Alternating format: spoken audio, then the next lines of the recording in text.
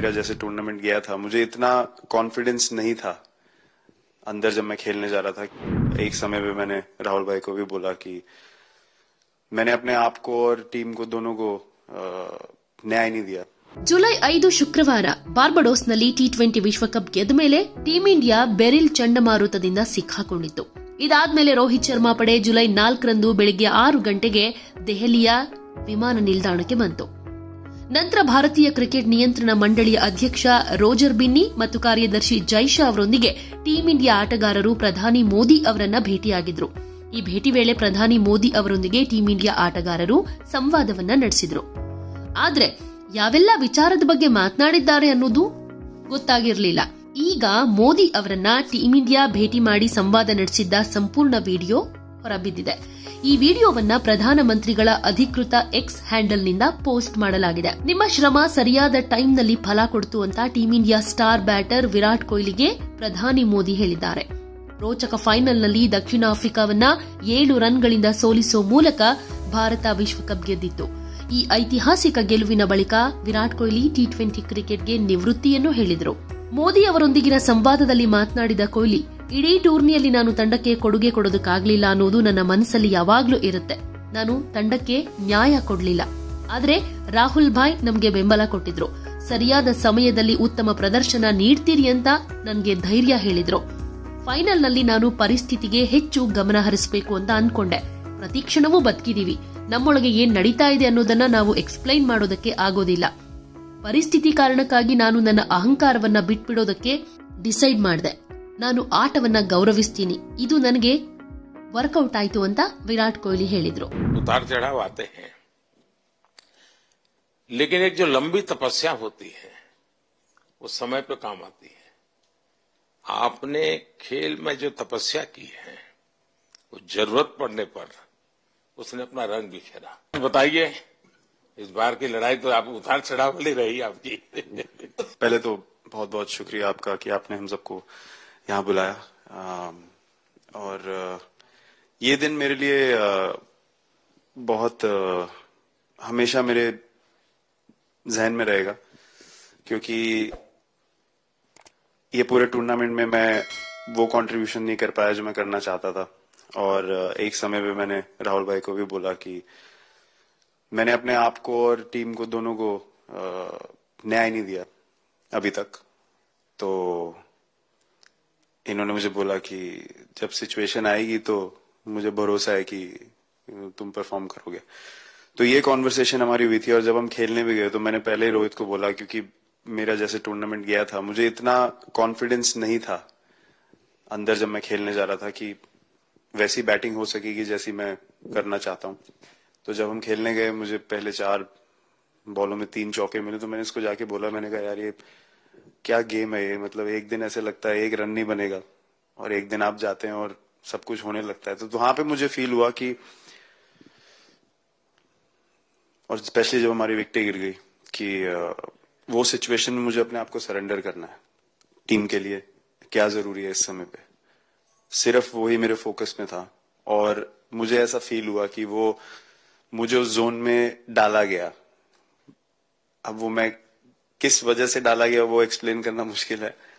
But uh, मुझे ऐसा feel हुआ कि बिल्कुल मैं उस मोमेंट में बंद गया। और अ, बाद में मुझे समझ आया कि जो चीज़ होनी होती है वो किसी भी तरीके से होती है। तो ये होना ही था अ, मेरे साथ टीम के साथ। अगर आप मैच भी देखें जिस तरीके से मैच जीते एंड में जो सिचुएशन थी हम लोगों ने एक एक बॉल को जिया एंड में जहाँ से मैच पलटा। और हमारे अंदर क्या चल रहा था वो हम एक्सप्लेन नहीं कर सकते। एक एक बॉल में कि मैच यहाँ जा रहा है वहाँ जा रहा है। एक एक समय पे उम्मीद छूट चुकी थी। उसके बाद हार्दिक ने विकेट लिया। उसके बाद एक एक बॉल करके एक एक बॉल करके वो एनर्जी फिर बनी। तो मुझे खुशी इस बात की कि मैं इतने बड़े दिन में कंट्रीब्यूट कर पाया टीम के लिए एक मुश्किल समय के बाद। और वो पूरा दिन जैसे गया हमारा और जिस तरीके से हम जीते जैसे मैंने बोला वो मैं कभी नहीं बुला पाऊँगा। अपनी ज़िंदगी में तो मुझे बस खुशी थी कि मैं टीम को उस जगह तक ले जा पाया जहाँ से हम मैच को जीतने की कोशिश कर सकते हैं। पर एक ही मतलब जो भी मैं करने की कोशिश कर रहा था, वो हो नहीं पा रहा था। तो मुझे यही लगा कि जब आप अपनी तरफ़ से इतनी और आपको ये लगता है कि मैं कर दूँगा तो वो कहीं ना कहीं आपका अहंकार ऊपर आ जाता है तो फिर खेल आपसे दूर चला जाता है। तो वही छोड़ने की ज़रूरत थी, और जैसे मैंने कहा कि गेम की सिचुएशन ही ऐसी बन गई कि मेरे लिए जगह ही नहीं थी अपने अहंकार को ऊपर रखने की वो पीछे रखना ही पड़ा टीम के लिए और फिर गेम ने फिर जब गेम को इज्जत दी तो गेम ने वापस उस दिन इज्जत दी तो मुझे ये एक्सपीरियंस हुआ सर बहुत बधाई है ಇನ್ನು ಟೀಂ ಇಂಡಿಯಾ ಉಪನಾಯಕ ಆಲ್ರೌಂಡರ್ ಹಾರ್ದಿಕ್ ಪಾಂಡ್ಯ ತಮ್ಮ ವೃತ್ತಿ ಜೀವನದ ಕಠಿಣ ಹಂತದ ಬಗ್ಗೆ ಮಾತನಾಡಿದ್ರು ಕಳೆದ ಆರು ತಿಂಗಳಲ್ಲಿ ಟೀಕೆ ಮತ್ತು ಹೋರಾಟಗಳನ್ನ ಈ ಟೈಮ್ನಲ್ಲಿ ನೆನಪು ಮಾಡಿಕೊಂಡ್ರು ಕಳೆದ ಆರು ತಿಂಗಳಲ್ಲಿ ತುಂಬಾ ಕಷ್ಟಪಟ್ಟಿದ್ದೀನಿ ಯಾವಾಗ್ಲೂ ಟೀಕಾಕಾರರಿಗೆ ಪದಗಳಿಂದಲ್ಲ ಆಟದ ಮೂಲಕ ಉತ್ತರ ಕೊಟ್ಟಿದ್ದೀನಿ ಅಂತ ನಿರ್ಧಾರ ಮಾಡಿದೆ ಆಗ ಮೂಕನಾಗಿದ್ದ ನಾನು ಈಗ್ಲೂ ಮೂಕನಾಗಿದ್ದೀನಿ ತುಂಬಾ ಕಷ್ಟಪಟ್ಟೆ ಅದೃಷ್ಟ ನನ್ನನ್ನ ಬೆಂಬಲಿಸ್ತು ಅಂತ ಪಾಂಡ್ಯ ಹೇಳಿದ್ರು first of all thank you बुलाने के लिए हमें और आई मीन वो जो इंटरव्यू के टाइम जो मैं बोला था it- वो इसलिए था क्योंकि छह महीने थोड़े काफी एंटरटेनिंग रहे हैं मेरे लिए काफी आ, उतार चढ़ाव के साथ रहे हैं। जहाँ ग्राउंड पे गया हूँ और पब्लिक ने बूइंग किया है और बहुत सारी चीज़ें गई और आ, हमेशा मैंने माना था कि मैं जवाब अगर दूँगा तो मैं खेल से दूँगा। आ, कभी अपने जवाब से नहीं दूँगा। और मतलब उस टाइम भी स्पीचलेस हूँ अभी भी स्पीचलेस हूँ क्योंकि आ, जो बोलते ना एक आप हमेशा झगड़ते रहते मैं लाइफ में हमेशा मानता था कि आप यू नो बैटल में लड़ते रहे कभी भी ग्राउंड छोड़ के ना जाए क्योंकि ये मुश्किल भी यही दिखाता है और यू नो सक्सेस भी यही दिखाता है। सो so, बिलीव किया सर कि रहेंगे मेहनत करेंगे और यू नो सब टीम प्लेयर्स का सबका कैप्टन कोच सबका सपोर्ट बहुत बढ़िया था। और बस प्रिपरेशन किया और तैयारी की और यू नो ऊपर वाले तकदीर भी ऐसी दी गेट लास्ट ओवर में मौका मिला। नहीं वो ओवर तो आप तो हिस्टोरिकल हो गए लेकिन सूर्या को क्या कहा आपने? सू- सूर्या ने जब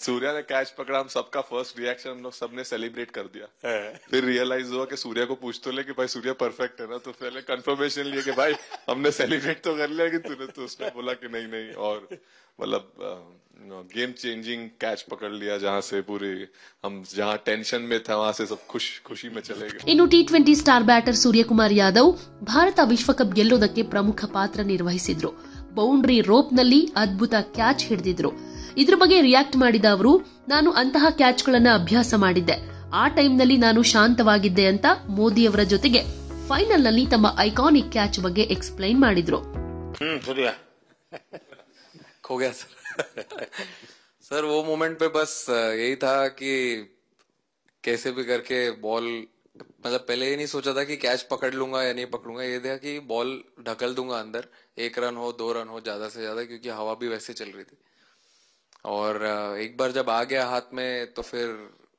यही था कि उठा के फिर दूसरे साइड दे दूँ फिर देखा रोहित भाई बहुत दूर थे उस टाइम पे और उड़ाया और आ गया हाथ में। बट ये चीज़ हमने बहुत प्रैक्टिस करी हुई है पहले से। एक चीज़ के बारे में मैंने सोचा था कि बैटिंग तो मैं करता ही हूँ खाली लेकिन वो खत्म होने के बाद और किस चीज़ में मैं कंट्रीब्यूट कर सकता हूँ टीम को फील्डिंग में और किसी क्या ये भी प्रैक्टिस हो जाती है आपकी कि जिसमें बाहर बॉल गया फिर से उसको दोबारा लेना कैच करना? सूर्या ने तो 100 कितना कह रहा था? 150 160 ऐसे कैचेस पहले लिए हैं प्रैक्टिस में। हाँ। टोटल मतलब सर टूर्नामेंट के स्टार्ट से और पीछे आईपीएल से जब आ रहा था तब बहुत सारा ऐसा कैचेस पकड़ा था तो बट पता नहीं था कि भगवान ऐसा मौका देगा ऐसे टाइम पे पकड़ने के लिए। बट ऐसी प्रैक्टिस की हुई थी पहले से? इसीलिए वो सिचुएशन में थोड़ा इतना काम था और पता था कि ऐसे सिचुएशन पहले आ चुकी है। बट कोई पीछे स्टैंड में बैठा नहीं रहता वो टाइम पे बट इस टाइम पे ज्यादा लोग बैठे थे बट बहुत अच्छा लगा वो मोमेंट ಇನ್ನು ಟೀಂ ಇಂಡಿಯಾದ ಎಡಗೈ ವೇಗದ ಬೌಲರ್ ಅರ್ಶ್ದೀಪ್ ಸಿಂಗ್ ಕೂಡ ಜಸ್ಪ್ರೀತ್ ಬುಮ್ರಾ ಅವರನ್ನ ಹೊಗಳಿದ್ದಾರೆ ಬುಮ್ರಾ ಅವರು ತಮ್ಮ ಬೌಲಿಂಗ್ ಮೂಲಕ ನಿಖರತೆ ಮತ್ತು ಎದುರಾಳಿಗಳನ್ನ ಒತ್ತಡದಲ್ಲಿ ಇರಿಸೋದಕ್ಕಾಗಿ ಅರ್ಶ್ದೀಪ್ ಗುಣಗಾನ ಮಾಡಿದ್ರು ಒಂದ್ ಕಡೆ ಬ್ಯಾಟರ್ಗಳನ್ನ ಬುಮ್ರಾ ಅವರು ಒತ್ತಡದಲ್ಲಿಟ್ಟಿದ್ರಿಂದ ನನ್ನ ಬೌಲಿಂಗ್ನಲ್ಲಿ ರನ್ ಗಳಿಸೋದಕ್ಕೆ ಮುಂದಾಗ್ತಾ ಇದ್ರು ಈ ಟೈಮ್ನಲ್ಲಿ ನನಗೆ ಅತಿ ಹೆಚ್ಚು ವಿಕೆಟ್ಗಳನ್ನ ಪಡೆಯೋದಕ್ಕೆ ಕಾರಣ ಆಯಿತು ಅಂತ ಹೇಳಿದ್ರು ಈ ಎಲ್ಲಾ ಕ್ರೆಡಿಟ್ ಇಡೀ ತಂಡಕ್ಕೆ ಸಲ್ಲುತ್ತೆ ಅಂತ ಅರ್ಶ್ದೀಪ್ ಸಿಂಗ್ ಹೇಳಿದ್ರು हाँ हार्दिक बताइए सर थैंक यू पहले तो आपने मौका दिया हमें आपसे मिलने का एंड उसके बाद अ, क्रिकेट को लेके बहुत बढ़िया फीलिंग है ये सर अ, बहुत अच्छा लग रहा है कि ये टूर्नामेंट हम जीते हैं एंड बॉलिंग में मैंने पहले भी जैसे बताया कि बहुत अच्छा लगता है जब जस्सी भाई साइड से बॉल डालते हैं तो बहुत ज़्यादा प्रेशर बना के रखते हैं बैट्समैन पे और बैट्समैन मेरे को ट्राई करते हैं तो मेरे को विकेट्स मिलते हैं काफ़ी सारे और बाकी भी बॉलर्स ने बहुत अच्छे से गेंदबाजी की है तो मैं कहूँगा उसका फल मेरे को मिलता रहा एंड वही काफ़ी मज़ा आ रहा था मेरे को विकेट्स मिल रहे थे एंड ಕ್ರೆಡಿಟ್ ಸಾರಿ ಟೀಮ್ಗೂ ಜಾತ ಇನ್ನು ಪ್ರಧಾನಿ ಮೋದಿಯವರು ಚೈನಾ ಮನ್ ಕುಲ್ದೀಪ್ ಯಾದವ್ ಅವರನ್ನ ನಾವು ನಿಮ್ಮನ್ನ ಕುಲ್ದೀಪ್ ಅಥವಾ ದೇಶ್ದೀಪ್ ಅಂತ ಕರಿಬೇಕಾ ಅಂತ ಕೇಳಿದ್ರು ಇದಕ್ಕೆ ಉತ್ತರ ಕೊಟ್ಟ ಉತ್ತರ ಪ್ರದೇಶದ ಸ್ಪಿನ್ನರ್ ನಾನು ದೇಶದವನು ಅಂತ ಹೇಳ್ಕೊಂಡ್ರು thank you so much sir हम कुलदीप कहें कि देशदीप कहें सबसे पहले सर, देश का ही हो तो ऑब्वियसली सर, भारत के लिए सारे मैच बहुत अच्छे लगते हैं खेलने में, बहुत मज़ा भी आता है, बहुत प्राउड भी फील करता हूँ। और टीम में मेरा रोल भी वैसा ही अटैकिंग स्पिनर का तो हमेशा मिडिल ओवर में बॉलिंग करता हूँ तो कैप्टन और कोच का हमेशा प्लान भी रहता है और रोल भी मेरा यही है कि विकेट निकालो मिडिल ओवर में। सो हमेशा कोशिश करता हूँ कि मिडिल ओवर में विकेट निकालूँ। और फास्ट बॉलर अच्छे स्टार्ट दे देते हैं एक दो विकेट निकाल देते हैं थोड़ा इजी हो जाता है मिडिल ओवर में बॉलिंग करना सो काफ़ी अच्छा लगता है बहुत अच्छा फील कर रहा हूँ अ, तीन वर्ल्ड कप खेल चुका हूँ और अ, ये अच्छा मौका था ट्रॉफी उठाया तो बहुत खुशी हो रही है ಇನ್ನು ಟೀಂ ಇಂಡಿಯಾ ನಾಯಕ ರೋಹಿತ್ ಶರ್ಮಾ ಕೂಡ ಗೆದ್ದ ಕ್ಷಣದ ಬಗ್ಗೆ ಗೆಲುವಿಗಾಗಿ ಪಟ್ಟ ಪರಿಶ್ರಮದ ಬಗ್ಗೆ ಮೋದಿಯವರ ಜೊತೆ ಮಾತನಾಡಿದರು 2007 में सबसे छोटू खिलाड़ी और 2024 में विजयी टीम के कैप्टन क्या अनुभव करते हैं? सर सच बोलूँ तो जब 2007 में मैं पहली बार टीम में आया था आ, और एक टूर हमने आयरलैंड में किया था जब जहाँ पे राहुल भाई कैप्टन थे आ, फिर उसके बाद हम सीधा साउथ अफ्रीका चले गए वर्ल्ड कप के लिए। तो वहाँ पे वर्ल्ड कप जीत जीत गए पहली बार तो जब इंडिया आए हम वर्ल्ड कप जीत के तो पूरी मुंबई रास्ते में थे।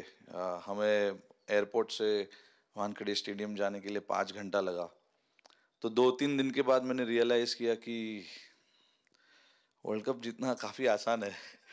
लेकिन उसके बाद उसके बाद वर्ल्ड कप आते गए। बहुत बार हम पास पहुँचे बट जीत नहीं पाए।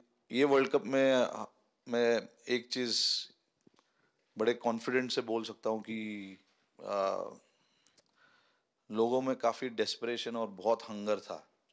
जब हम यहाँ से वेस्ट इंडीज़ गए काफ़ी मुश्किलें थी वहाँ पे जब हम न्यूयॉर्क में पहली बार क्रिकेट हो रहा था। कभी क्रिकेट वहाँ पर हुआ नहीं था। प्रैक्टिस करने के लिए ग्राउंड अच्छे नहीं थे आ, लेकिन किसी भी लड़कों का उस चीज़ में ध्यान नहीं था बस एक ही चीज़ में ध्यान था कि हम बारबेडो बारबेडोस में फाइनल कैसे खेलेंगे। तो उससे मतलब ऐसे टीम को कैप्टनसी कैप्टनसी करना भी काफ़ी अच्छा लगता है कि सबका गोल एक है कि कैसे जीतना है। और जब हम देखते हैं कि लोगों के चेहरे पे आ, इतनी मुस्कुराहट है और लोग इंजॉय कर रहे हैं एक दूसरे के साथ रात रात तक आ, सड़कों में घूम रहे इंडिया का फ्लैग लेकर तो काफ़ी अच्छा लगता है और आ, हम ये ये जो ग्रुप है यहाँ पर इनका हमारा एम भी यही है कि हम नेक्स्ट जनरेशन को कैसे इंस्पायर करते जाए। जैसे जब राहुल भाई और सचिन तेंदुलकर और सौरव गांगुली लक्ष्मण ये लोग सब खेलते थे तो हम सब उनको देखते थे। तो उन्होंने हम सारे लड़कों को इंस्पायर किया है बट हमारा भी एक रिस्पॉन्सिबिलिटी है कि जो आगे वाले जनरेशन आएँगे उनको हम कैसे इंस्पायर कर सकते हैं? और ये शायद ये वर्ल्ड कप से आई एम श्योर कि आने वाले पीढ़ी में वो उत्साह बिल्कुल रहेगी। रोहित आप हमेशा इतने सीरियस रहते हो। ये ये तो एक्चुअली लड़के ही बता सकते हैं।